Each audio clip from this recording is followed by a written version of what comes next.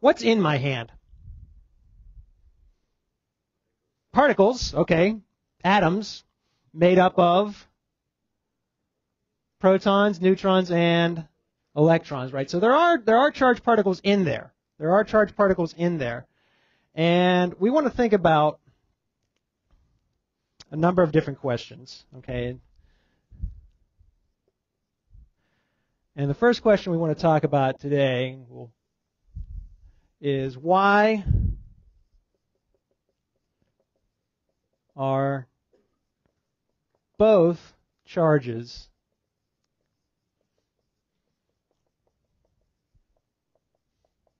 attracted to my hand, which presumably is neutral, right?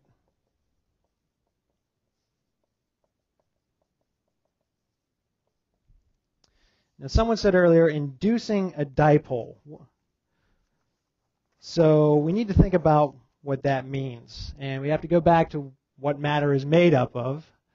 And in my hand, we said matter it's made up of atoms. And so here's a cartoony picture of an atom. Here's the nucleus, which is positively charged. And then surrounding a nucleus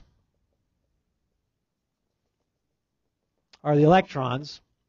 And quantum mechanics tells us that we can't really know precisely where the electron is and how fast it's moving, what direction it's moving at any given time. So there's sort of a cloud of probability. There's some region surrounding the nucleus where it's very likely to find the electrons at any given time. Okay, so this is sometimes called the electron cloud. Okay?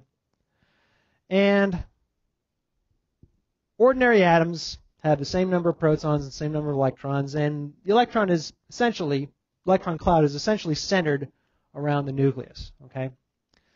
Let's say I bring a positively charged charged object, like a point charge, like a bare proton or something like that, near this neutral atom.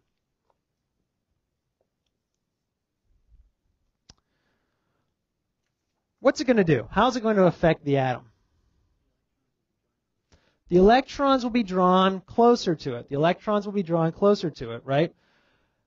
The electrons, how's the mass of an electron compared to the mass of the nucleus? It's very, very small, right? So if anything's going to move here, it's going to be the electrons. The nucleus is essentially very massive, okay? So we can treat the nucleus as essentially staying still. The electrons are very light. They're free to float around. And this positive charge is going to attract the electrons. So the electron cloud actually shifts a little bit due to the, the attraction.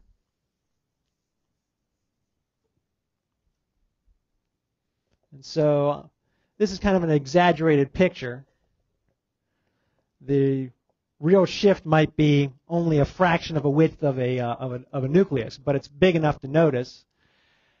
And if you have now a greater distribution of negative charge on this side and a concentration of positive charge on the other, that is a that's an induced dipole. This is what we call an induced dipole.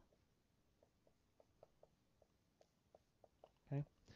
So a permanent dipole, which we talked about last time, permanent dipoles are dipoles all the time, and there are certain molecules that are just dipoles all the time, no matter what you bring near them. Okay, water is a, a permanent dipole, hydrogen chloride.